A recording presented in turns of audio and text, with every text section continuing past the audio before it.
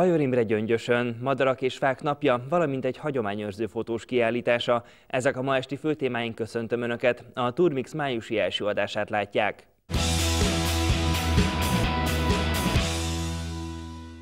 Gyöngyösön járt Bajor Imre. A színész egy 2001-ben megjelent könyvét népszerűsítette a városunkban. Bajor Imre színész, humorista, tévésztár gyöngyösre látogatott, a nemrég megjelent a Bajorimi című könyv kapcsán, amelyet a művész kérésére Rutka Ildikó újságíró és dramaturg szerkesztett és írt meg, akinek ez volt élete első könyve.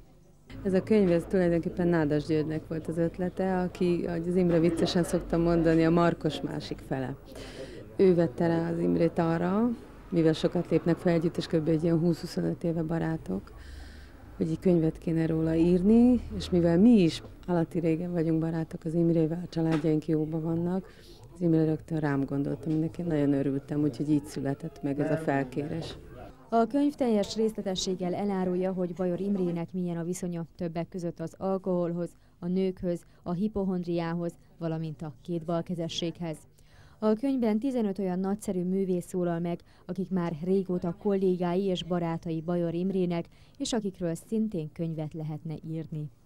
Nagyon fontos volt a könyv szempontjából, hogy olyan barátaim legyek, akiket ismer a nagy közönség, mert különben ha megszólal a szomszédom, nem biztos, hogy arra sok vevő jelentkezik, hogy megvegyék. A vidám és jó hangulatú életrajzi kötet elkészítése három hónapot vett igénybe, amelyben 200 oldalon keresztül olvashatunk sztorikat a 44 éves Bajor Imréről.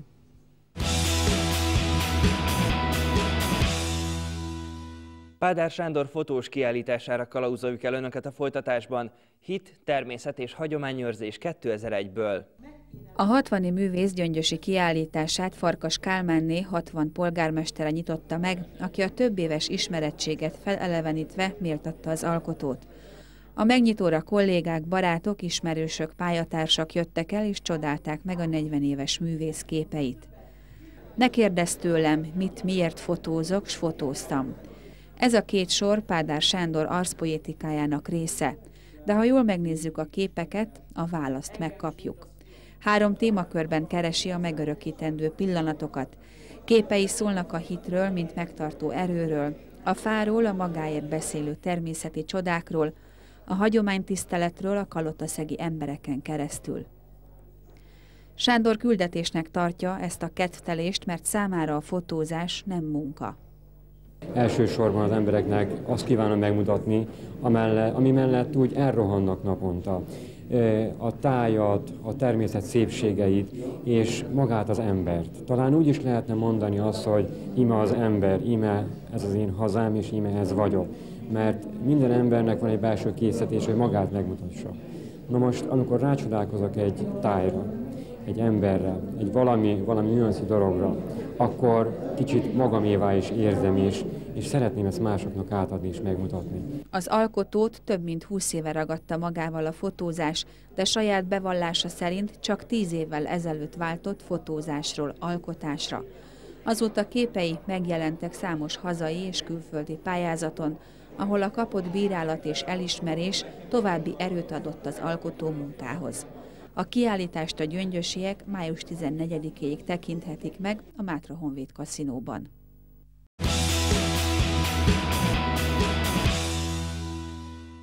...1906-ban született és 2001-ben ünnepelte 95. születésnapját Nagy István. Ott voltunk, amikor a város első embere felköszöntötte.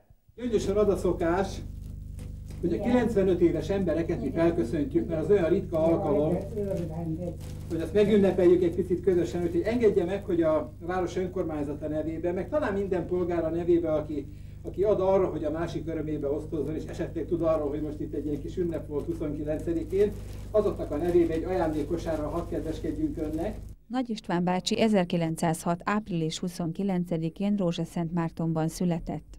Itt dolgozott községi bíróként, majd bányász lett, és TS tagként ment nyugdíjba. Néhány éve már gyöngyösön lakik a mennyénél. Egy gyermeke született, két unokája és négy dédunokája van. 1993 óta özvegyemberként éli mindennapjait. Szabadidejét a futballmeccseken töltötte, de ma már ennek a szenvedélyének nem hódolhat, mert fáj a lába és nem jól lát. Kedvenc időtöltése így a rádiózás. Szellemi frissessége azonban még mindig a régi. A polgármester úr kérésére szívesen mesélt az elmúlt évtizedekről.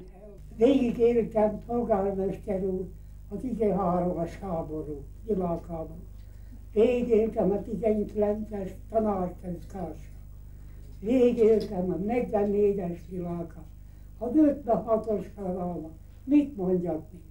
Minden nehézséget, jó emlékszek minden. Pista bácsi szerint a hosszú élet titka a speciális féldeci, melynek fele víz és fele pálinka. Étkezések után pedig még mindig jól esik egy pohár bor.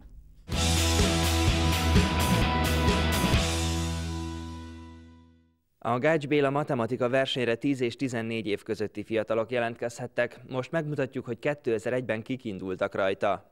Ebben a tanévben immár 9. alkalommal rendezték meg Gyöngyösön a Gács Béla városi matematika versenyt, amelyre minden évben várják a Bercenagy János gimnázium kisdiákjait, illetve a Mátrafüredi és a helyi általános iskolák 10 és 14 év közötti tanulóit.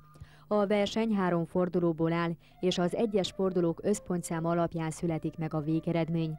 A versenyben négy korcsoport, az ötödik, a hatodik, a hetedik és a nyolcadik osztályos diákok mérhetik össze matematika tudásukat. Ebben az évben mintegy 150 tanuló vett részt a versenyen. Ez egy háromfordulós verseny, tulajdonképpen ezek nem túlságosan nehéz feladatok, előkészítik azokat a versenyeket, amelyekből megyei és országos versenyekre lehet jutni.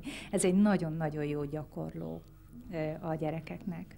A verseny eredményhirdetésére a Gyöngyösi Felsővárosi Általános Iskolában került sor, ahová Keresztesi József a város alpolgármestere is ellátogatott. A jó eredmény, a sikeres szereplés az egyfajta rangot és presztés is ad, és ennek szeretnénk mi nyomatékát adni a város vezetése részéről, hogy buzdítsuk a jövőben is a gyerekeket minél nagyobb létszámba és teljes odaadással vegyenek részt az ilyen tanulmányi versenyeken. Korcsoportonként az első hat helyezettet jutalmazták oklevéllel és könyvvel, amelyeket Keresztesi József alpolgármester adott át.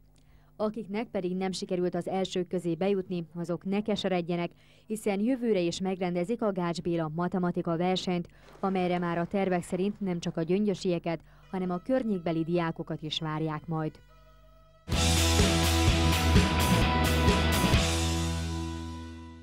Emléktáblát avattak a Madarak és Fák napja alkalmából Mátrafüreden. Az ünnepséget a Vadas Jenő Erdészeti Szakközépiskolában tartották.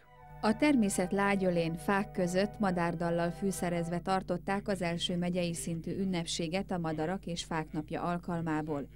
Az élővilág védelme a természeti értékek megbecsülése mindannyiunk feladata, mondta a megnyitón Farkas László, a Heves megyei vadásztársaság elnöke és hogy az utánunk jövőknek is mindez megmaradjon, a fiatalokat időben rá kell ébreszteni a természetvédelemre, épp ezért új tartalommal kell megtölteni a hagyományt.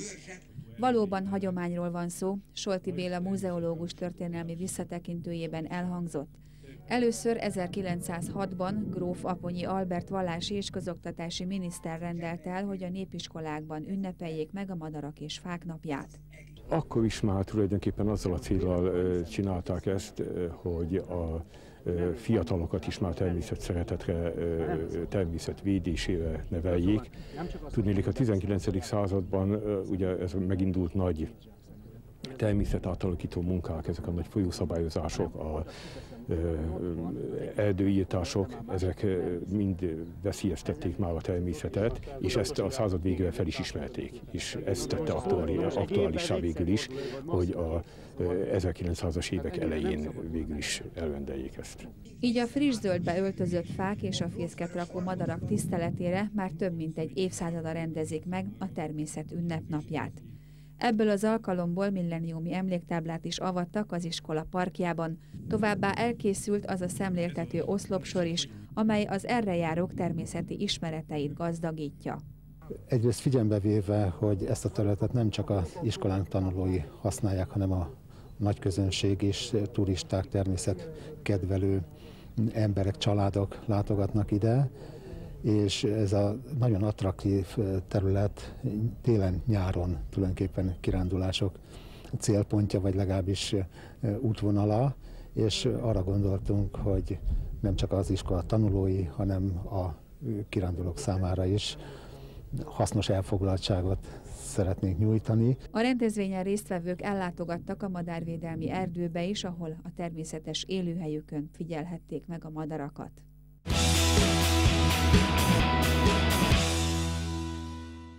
Két hét múlva innen folytatjuk a múlt idézést. Tartsanak velünk akkor is. Viszlát!